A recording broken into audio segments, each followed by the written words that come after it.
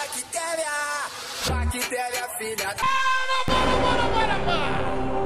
Para tudo aí! Tudo bem que existem bactérias que causam mal a nós seres humanos, mas é a minoria delas. Você sabia que sem elas a gente provavelmente não existiria? Você já ouviu falar em transplante de fezes?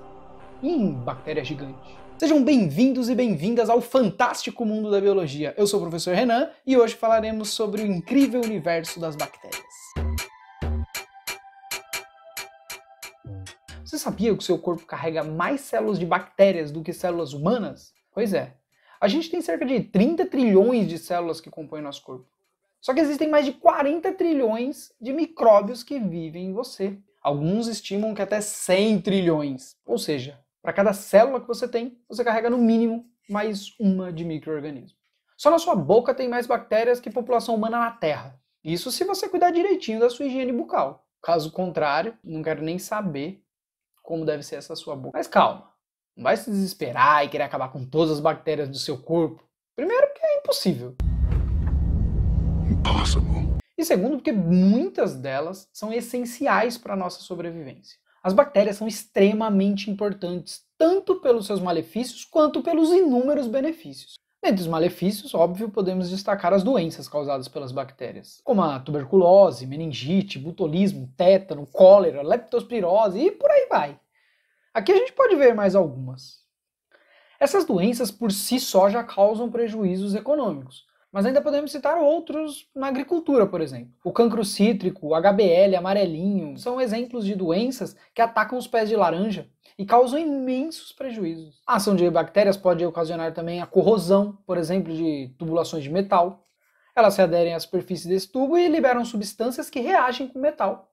Então, encaramentos que carregam água de esgoto, eles são muito prejudicados por esse tipo de corrosão, que é também chamado de biocorrosão. Claro que elas trazem alguns malefícios, mas é a minoria, enquanto a importância ecológica delas é incalculável. Incalculável. Elas, juntamente com os fungos, são responsáveis pela decomposição, portanto, degradam a matéria orgânica fazendo a ciclagem dos nutrientes. Se quiser saber mais sobre os fungos, assista a esse vídeo. Voltando para a importância ecológica das bactérias, além da decomposição, as bactérias são os únicos organismos capazes de retirar o nitrogênio do ar e fixá-lo incorporando ele na cadeia alimentar.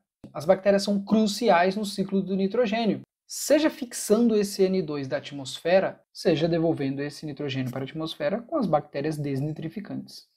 Você gosta de iogurte? Pois é. Iogurtes, queijos, bebidas fermentadas, conservas como picles, chucrutes e até azeitonas são apenas algumas das coisas que utilizam bactérias na sua produção.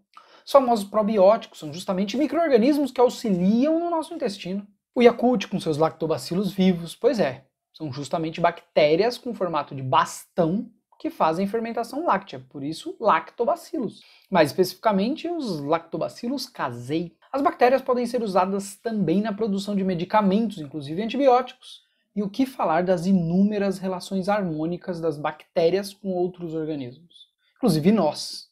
Muitas delas mutualísticas. Lembrando que mutualismo é quando dois organismos de espécies diferentes se juntam, se ajudam e um não consegue viver sem o outro. Naturalmente, o boi come capim, certo?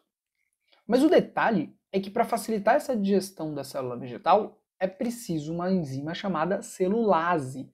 Mas os bois, assim como a maioria dos mamíferos, não produzem essa enzima. E é aí que entram as bactérias. O boi é um ruminante e os ruminantes criam no seu estômago bactérias que produzem celulase e, portanto, degradam a célula vegetal. Com isso, ambos se beneficiam e conseguem sobreviver. Outro animal que se alimenta de célula vegetal é o cupim. Pois bem, ele também não produz celulase. Então, ele tem uma relação mutualística com bactérias que vivem dentro do intestino dele. O nosso intestino também está lotado de bactérias. E essas bactérias são importantíssimas para nós. Elas auxiliam na nossa digestão, absorção de nutrientes, produção de vitaminas, ácidos graxos, ômega 3, inativação de toxinas e ainda ajudam a regular nosso sistema de defesa, quantidade de açúcar sanguíneo e até mesmo pressão arterial. Mas não são somente os animais que se associam às bactérias. As plantas leguminosas, por exemplo feijão, possuem um mutualismo com bactérias do gênero Rhizobium, formando as clássicas bacteriorrizas.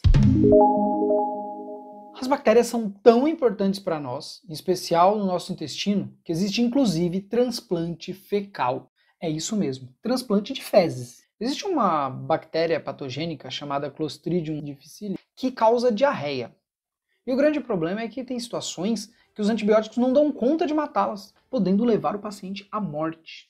Assim, um tratamento que se mostra bastante eficaz é justamente o transplante da microbiota fecal. Para isso, é introduzida no intestino do doente uma solução de fezes doadas que contém bactérias e outros microrganismos que vão colonizar o intestino do paciente. Esses organismos vão ocupar o espaço e competir pelos nutrientes com o Clostridium difficile, controlando a população dela. Pode ser estranho e até mesmo um pouco nojento pensar nisso, mas é uma forma de salvar vidas. Essa daqui é uma das bactérias mais mortais. Quando ela morre, ela libera uma toxina que causa paralisia muscular, podendo levar a pessoa à morte. Essa doença é conhecida como botulismo. Contudo, a mortal toxina botulínica é utilizada em pequenas doses tanto na cosmética quanto na medicina. O famoso Botox é justamente produzido a partir dessa toxina. E essa toxina também é usada na área médica. Esses são apenas alguns dos possíveis problemas tratados a partir do uso controlado dessa toxina.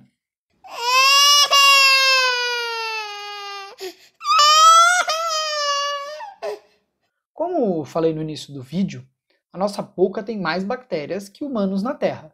Pois é. Então, durante um beijo, ocorre uma troca intensa de bactérias. As duas pessoas podem trocar de 10 milhões a 1 bilhão de micro-organismos. E o celular?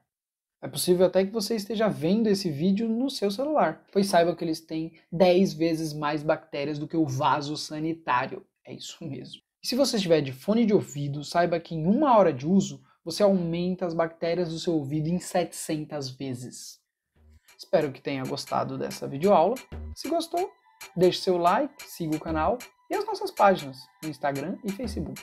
Obrigado pela paciência e não deixem de assistir os outros vídeos do canal. Sucesso!